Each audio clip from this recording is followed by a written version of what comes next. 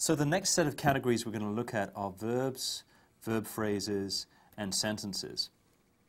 So a first critical observation is that verbs in English can be subcategorized into distinct subtypes, uh, which have rather different properties. So I'm going to use the, the symbol VI to refer to intransitive verbs, VT to refer to transitive verbs, and VD to refer to ditransitive verbs. And so, for example, an intransitive verb would be sleeps or walks or laughs. A transitive verb would be something like sees or saw or likes. Ditransitive would be gave.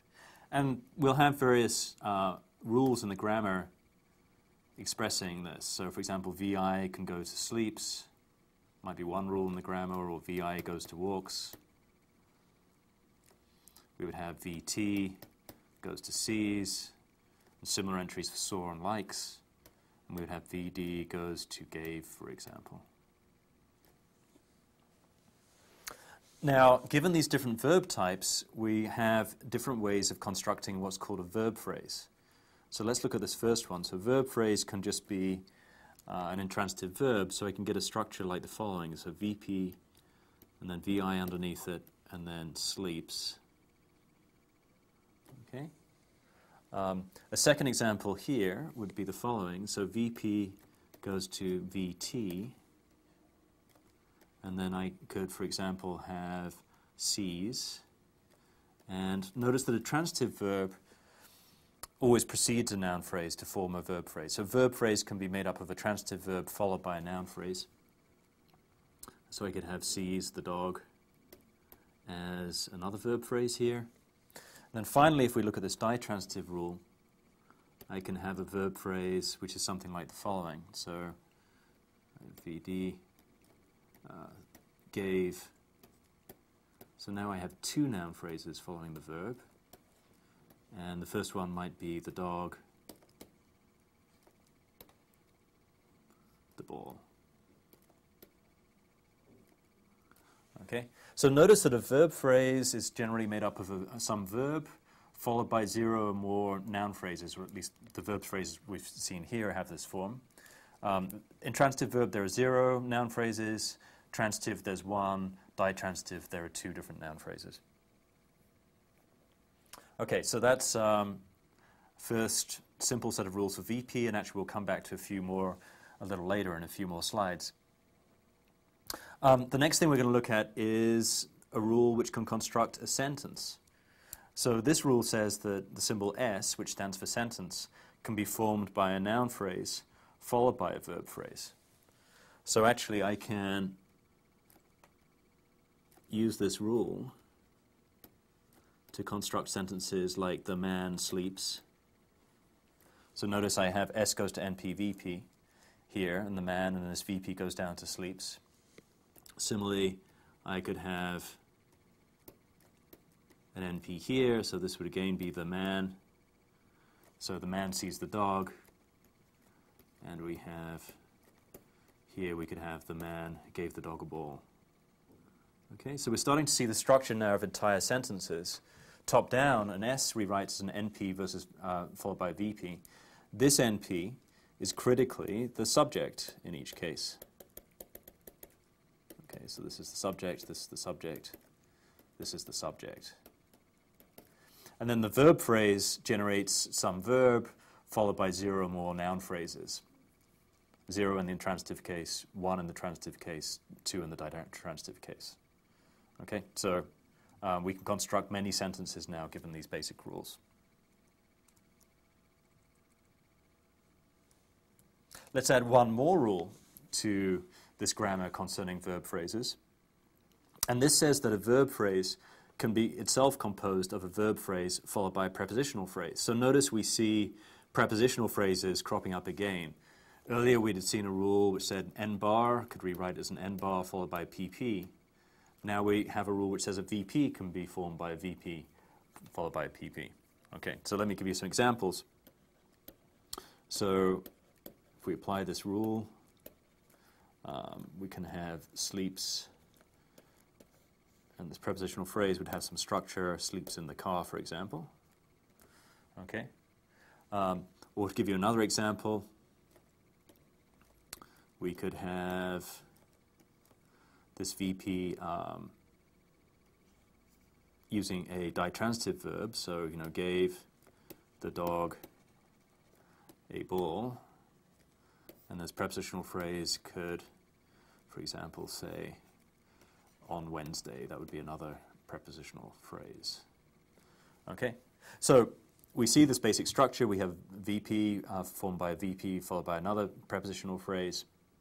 This prepositional phrase generally adds some information, for example, about the location of um, the verb, or sorry, of the event described by the verb, or the time of the event described by the verb phrase, and so on and so on.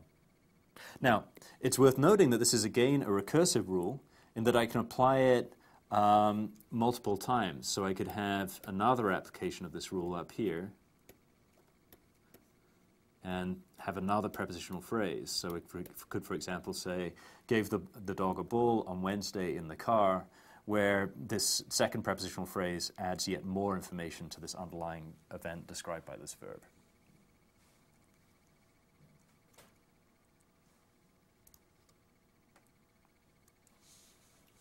Okay, moving on, we've seen how to construct S, uh, the sentence category. Um, now we're going to add another part of speech which I'll use uh, comp for. So comp is going to rewrite uh, words, for example, like that. Actually, that's the one complementizer we'll focus on now, the word that. And this gives a new category which we'll call an S bar. So we have a rule saying an S bar can be formed by a complementizer followed by S. And so, for example, we could have an S bar with the following structure. So that, and then we have an S, and again, I'll hide the details of the parse tree under here, but this S could, for example, be the man sleeps. Okay, so very important structure in English. You frequently see, as we'll see, um, subordinate clauses in sentences formed by a word like that, followed by some sentence. So let's extend the grammar and see where these exactly fit in.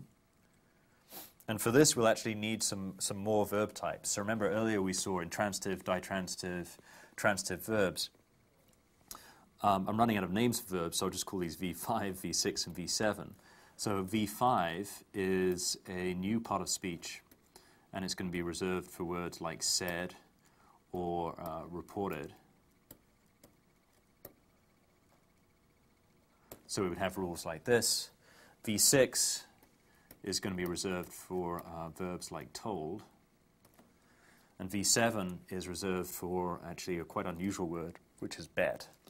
We'll see why it's unusual in a second. And the new VP rules start to use this S bar. So if I have um, this string here said that the man sleeps, there's actually a, um, this can actually be a VP and it's composed of a V of type 5, this is said, followed by an S bar. Okay, so critically notice that it's possible with these types of words, said and reported, to form a verb phrase by that verb followed by an S bar. Okay, so said that the man sleeps. Um, if we look at this rule, this says that a verb of type 6 can be followed by an NP and an S bar to form a VP. And that's a phrase like told, the dog, that the mechanic likes the pigeon. Okay, so this is an S-bar. It's uh, formed by the word that, which is a complementizer followed by a sentence. And this is an NP. And told can actually take two arguments. Firstly an NP and secondly an S-bar to form a verb phrase. So this is who's being told and this is what is being told. The final rule says that a VP can be composed of a V of type 7 followed by two noun phrases uh, Nespar V7, for example, might be bet. This is unusual in that I think there are very, very few verbs which take um, three or more arguments in English. I think three is maybe the most. Um, let's give an example. So I can say bet the pigeon, so this is an NP. $50, this is also an NP. And then this is also an S bar. Okay. So that's an application of this rule here. This is a V of type 7. And this entire phrase here can be a verb phrase.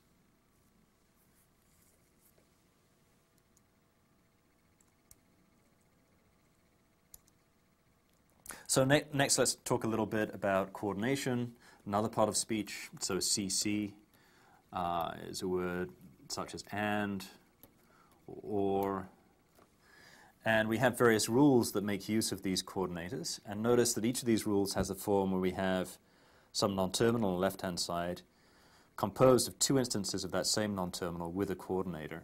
And so I can create phrases like the following.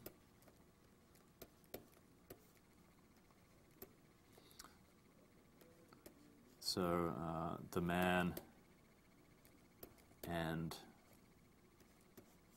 the dog. So that would be an instance of this rule using the NP. And notice that this rule basically glues together two noun phrases with a coordinator in between them um, to conjoin these two phrases to form a larger phrase. And this coordination type of rule can be used for all of these different uh, phrase types. So I can, for example, say sleeps and likes the dog. So both of these are verb phrases, or both of these subsegments are verb phrases. And I can finally use this rule that says a VP rewrites a VP CC VP to join these two things together.